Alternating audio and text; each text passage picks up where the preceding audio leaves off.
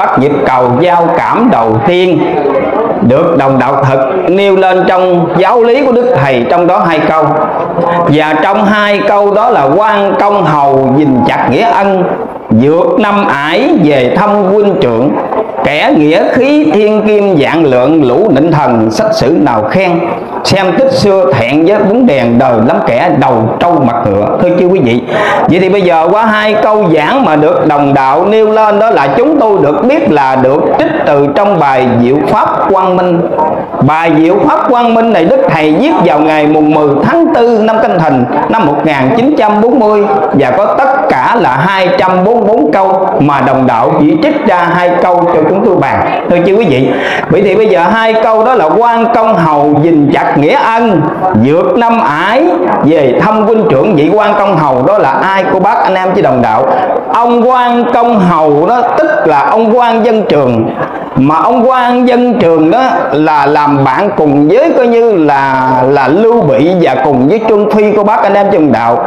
Như vậy thì bây giờ trong thời tam quốc đó là ba vị này đấy hen, là nổi tiếng trong thời kỳ của tam quốc thưa chứ quý vị nhưng mà chuyện tam quốc thường thường người ta nói đó là nói chuyện dài dòng tam quốc hay là dài lắm. Nhưng mà ở đây chúng tôi xin trích ra coi như là một cái cốt truyện là xác thực mà qua câu giảng của tổ thầy. Thưa cô bác anh em chia đồng đạo. Vậy thì bây giờ quan công hầu dình chặt nghĩa ân, mà đồng đạo thật nêu lên trong hai câu này là nghĩa ân là cái gì? Cô bác anh em chân đạo, một là nghĩa hai là ân dinh chặt nghĩa. Ân tất nhiên là dình hai cái điều kiện như trên. Thưa chứ quý vị, bây giờ mà nghĩa là nghĩa với ai cô bác, anh em với đồng đạo? Thưa chứ quý vị, bây giờ nói nó qua, ông quan công dân trường đó, là quý vị mình được biết cái hen là cái nghĩa khí thiên kim dạng lượng lũ nịnh thần, sách sử nào khen xem tích xưa thẹn với bóng đèn đời lắm kẻ đầu trâu mặt ngựa.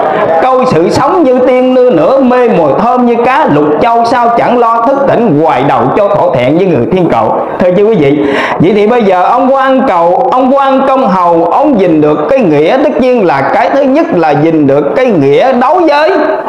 Và trong khi cô bác anh em dân đạo là nghĩa đối với lưu bị, cô bác anh em thì chưa quý vị.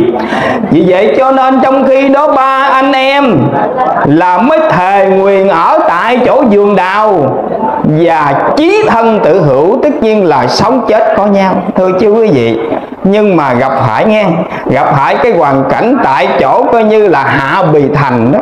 Thì lúc bây giờ coi như quan công hầu đó ông bị thất bại ở tại chỗ cái thành hạ bì.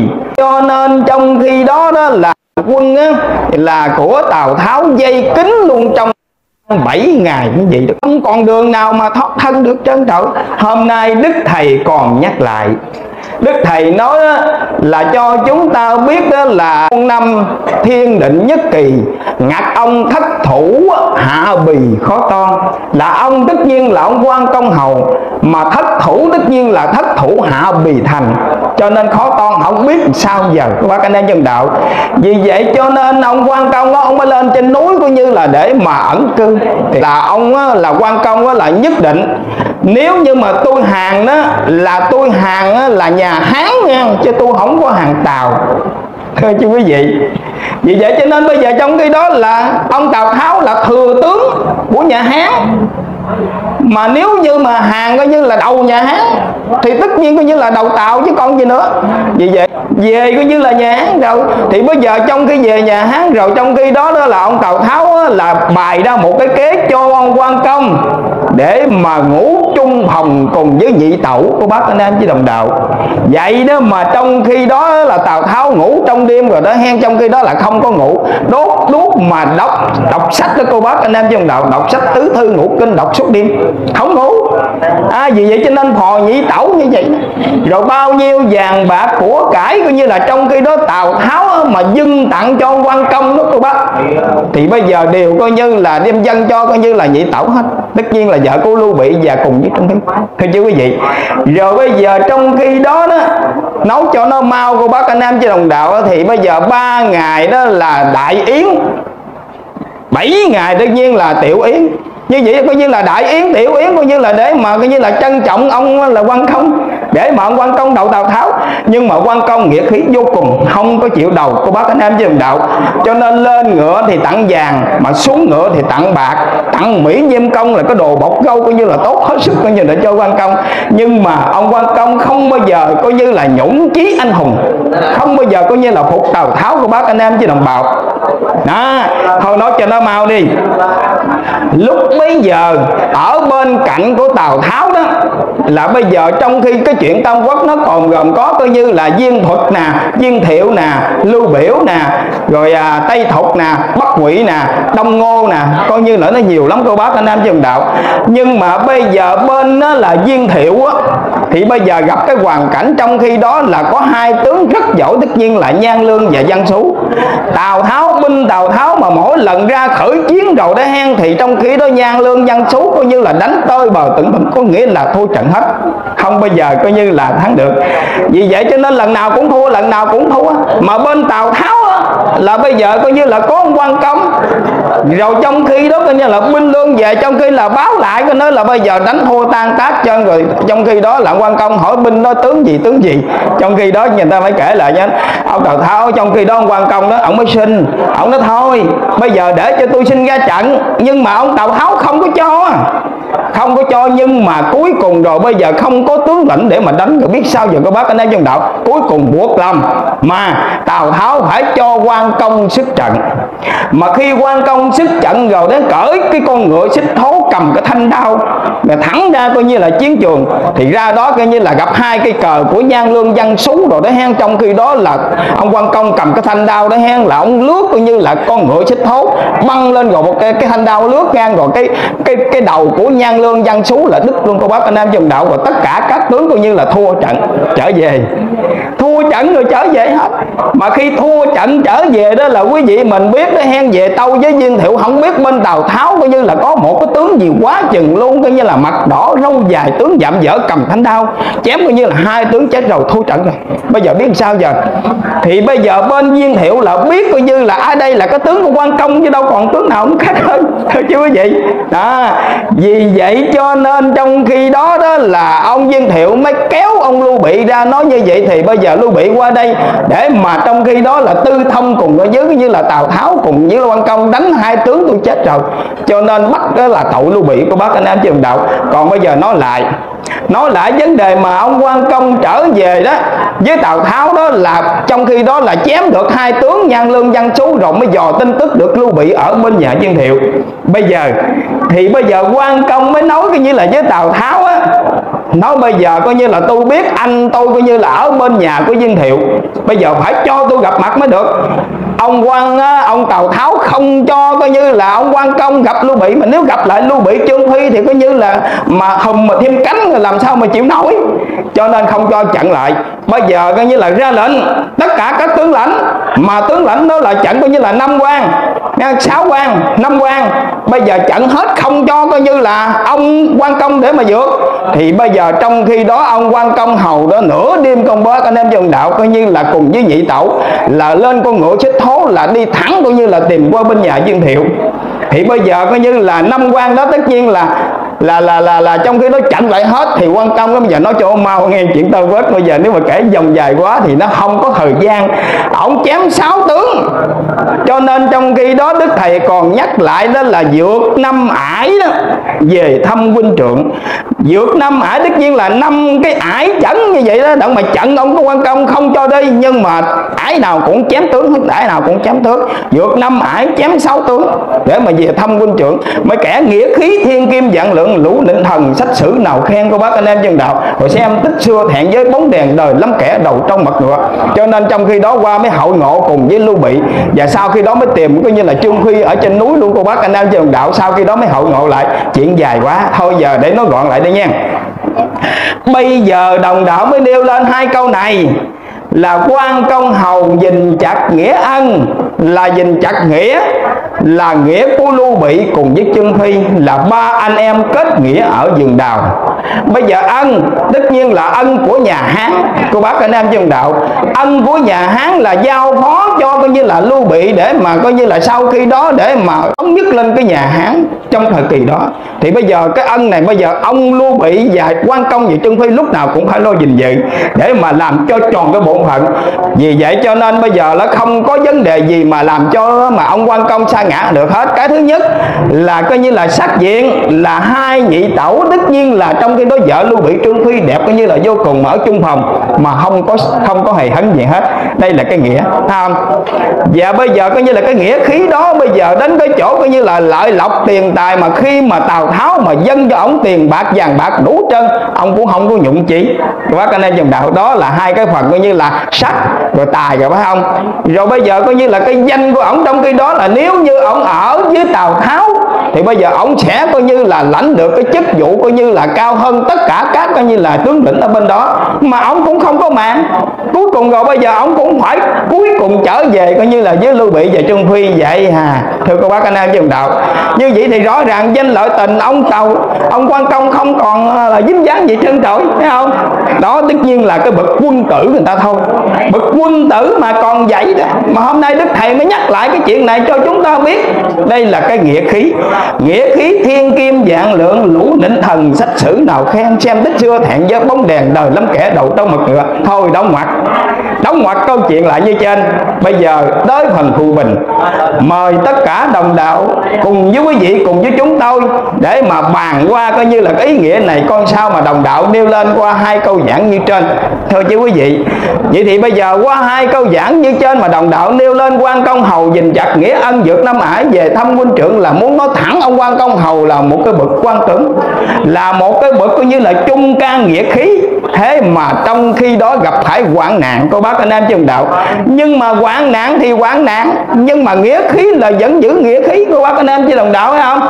Vì vậy cho nên cái người mà quân tử đó là bằng tư lạm hỷ, có nghĩa là bậc quân tử giàu nghèo khổ hoạn nạn, cách mấy đi chăng nữa, khổ khó cách mấy đi chăng nữa cũng vẫn giữ lòng chinh bạch và tốt đẹp phải không? Vì vậy cho nên là quân tử xứ ư trượt địa bất năng nhiễm loạn kỳ tâm. Là bậc quân tử ở vào trong cái chỗ là cùng bằng nghèo hèn khổ sở cách mấy chăng nữa mà cũng không bao giờ cái tâm nó bị loạn. Đó là cái bậc quân tử. À, vì vậy cho nên ở nơi đây là muốn nói coi như là ông quan công hầu là bậc quân tử thôi mà còn Đức cô bác anh em trường đạo, thì huống hồ chi là người tu chúng ta là người tu đạo Phật phải còn vượt hơn, còn cao hơn, còn xa hơn. Nên Đức Thầy nói trượng thu chí cả dọc ngang dạo trong bốn biển mới trang thánh hiền. Hoặc giả là sống làm sao chữ tu mi, sống dùng dãy râu mài nam tự tự như nhiên quay phong thiên tứ hút thần linh mượn được tay đề. Đây tất nhiên là với một cái nhiệm vụ của cái người tu chúng ta phải thể hiện ra là bậc quân tử, là bậc dựng khu chơi thưa chứ quý vị. Bây giờ quan công hầu dình chặt nghĩa ân dược năm ả về thăm huynh trưởng, thì bây giờ đức thầy tiên tri cho ta biết, sau này đức thầy gặp phải hoàn cảnh trên. Bây giờ có nhiều khi đọc đạo và tất cả chư quý vị đọc qua cái chuyện thầy rồi, trong khi đó là có một cái suy nghĩ không lành, không tốt. Thôi chứ quý vị, hồi xưa ta đọc chuyện tam quốc, người ta đọc đến cái chuyện của quan người ta rất tôn trọng nghĩa khí của quan công vô cùng. Vì vậy cho nên hôm nay đức thầy mới lấy mẫu chuyện của quan công áp dụng vào trong đời Đức Thầy mà lúc Đức Thầy đi miền Đông và lúc Đức Thầy ở trên Sài Gòn đó, cô bác anh em chị đồng đạo phải không? Bây giờ ông quan công, thất thủ hạ bì thành, phải ở cùng với ông Tào Tháo. Đúng không? Đây là cái chuyện như vậy. Còn hôm nay coi như là lúc Đức Thầy coi như là được dời lên coi như là trên Sài Gòn và cuối cùng Đức Thầy ở với quan của Nhật, cô bác anh em chị đồng đạo. Năm 1945 thì Đức Thầy ở với Nhật vậy đó mà trong khi đó có nhiều người đức thầy á, nói đức thầy là thân với nhật là vui đầu với nhật. Mà nhất là cái người coi như là người ngoại bang dị chủng thế mà trong khi đó có nhiều tín đồ nhiều đồng đạo nghi vấn đức thầy của bác anh em đồng đạo. Chính vì lẽ đó có một hôm đó tín đồ coi như là hỏi thầy, tại sao mà mà mà cái người Nhật cũng là ngoại bang, cũng là dị chủng bây giờ coi như là đánh đuổi xâm lăng là người Pháp, mà giờ thân Nhật là sao? Đức Thầy mới nói lên hai câu thơ của bác anh em trường đạo để chấn an tín đồ. Chương tiên tá hớn, phi thần hớn quan thánh cư tàu bất đê tàu. Nghĩa là ông trương tiên, tất nhiên là ông tiên trương lương. Tá hớn là ở nhà hớn. Mà phi thần hớn tất nhiên là không bao giờ phục nhà hớn. Mà quan thánh cư tàu, bất đê tàu là quan thánh đế quân ở trong cái nhà trong cái triều đại của của coi như là tào tháo. Nhưng mà bất đê tàu là không cúi đầu để mà trong khi đó mà phục tào tháo. Của bác anh em chứ đồng đạo. Đây tất nhiên là muốn nói qua cái tình trạng này là đức thầy cũng coi như là có nói nhắc cho chúng ta biết coi như là là thất thủ hạ bị thành cũng như là cũng à, mà ngạc ông thất thủ hạ bị khó toan. Tất nhiên bây giờ không biết tính sao giờ. Thì bây giờ đức thầy coi như là mượn cơ hội đó phải không? Để mà nói cho tất cả các tín đồ biết coi như là đức thầy lúc là ở trên coi như là cái sở hiến binh của Nhật mà chờ đợi thời cơ. Của bác anh em trường đạo cho nên lúc đó Đức Thầy mới nhắc lại cho chúng ta nhiều đoạn đây nè. Đức Thầy nói nay chẳng lẽ ngồi coi thắng bại của cọp rồng trên giải đất ta một mai cọp đã về nhà? Tất nhiên là muốn nói coi như là cho coi như là cái người Nhật sau này nó sẽ trở về nhà. Biết rồng có chịu buông tha chăng? Còn tất nhiên là nói một pháp bây giờ có thể buông buông mình không phải không? À, vậy anh em ta hãy chung lưng lại dùng sức mình đánh bại kẻ thù. Đó tỏ ra khí phách trưởng thu dung long tiền kiếm mà tận tru dân thần. Xưa nước đã bao lần khuynh đảo được cứu nguy nhờ máu anh hùng. Hy sinh báo quốc tận chung. Như vậy thì bây giờ đức thầy muốn nhắc qua cái đoạn đó chi của bác anh em dần đạo. Đây, tất nhiên đức thầy muốn nhắc qua cái chỗ này. Cho tất cả đồng đạo biết lúc đức thầy ở sở hiến minh nhật là vì muốn củng cố và vì muốn coi như là để mà thân nhật để trong thời gian đó để đức thầy coi như là để mà hoạt động và làm lại coi như là cái cuộc mà cái cho đất nước việt nam của chúng ta coi như là được ổn định của bác anh em chứ đồng đạo đó. Vì vậy cho nên qua câu này quan công hầu dình chặt nghĩa ân, vượt năm ải, về thăm huynh trưởng là giàu khó cách mấy đi chăng nữa, nhưng mà cuối cùng vào năm 1945 là đức thầy nhờ người nhật đó mà đức thầy được đi về thăm tất cả các đồng đạo. Cô bác anh em chứ đồng đạo phải không? Thăm tất cả các đồng đạo, đi thuyết pháp 107 chỗ tức là vào coi như là tháng 8 năm 1945 là đức thầy đi khắp nơi khắp nơi, chỗ nào đức thầy cũng trở về thăm đồng đạo. Đó là ông quan công vượt năm ái về thăm huynh trưởng. Còn đức thầy nương vào trong nhật trong thời gian đó, sau đức thầy trở về thăm tất cả các đồng đạo hết cô bác anh em chừng đạo. Đó, tất nhiên đây là muốn nói qua cái ý. Cái ý chỗ này tất nhiên là đức thầy mà nói cho tất cả các tín đồ biết, nói qua vấn đề quan công hầu dình chặt nghĩa ân ông quan công hầu hồi xưa còn vậy thì đức thầy chúng ta coi như là gặp phải hoàn cảnh như trên. Thì bây giờ cũng phải gán để mà trong khi đó nương vào trong cái tình huống đó. Chứ không phải phục, cũng không phải cúi đầu mà chờ thời của bác anh em trung đạo. Cũng giống như quan công ở trong thời kỳ của coi như là của của tào tháo, ở đó chờ thời để biết tin của lưu bị để mà trong khi đó cố tình coi như là gặp lưu bị thôi chứ hoàn toàn tào tháo không bao giờ mua chuộc được. Cũng như đức thầy ở sở hiến binh nhật là nhật không bao giờ mua chuộc được đức thầy cái gì hết. Mà đức thầy chỉ chờ thời thôi mà đức thầy cho chúng ta biết là nên còn đãi thiên quay nơi lệnh hoặc giả là đợi, chờ, dẫn tới sẽ tuôn mây về trên thượng giới đền kim khuyết tâu lại trần gian cớ sự này của các anh dân đạo. Thôi thì qua đề tài này chúng tôi cũng xin dứt nam mô thích ca mâu ni phật. Nam mô a di đà phật.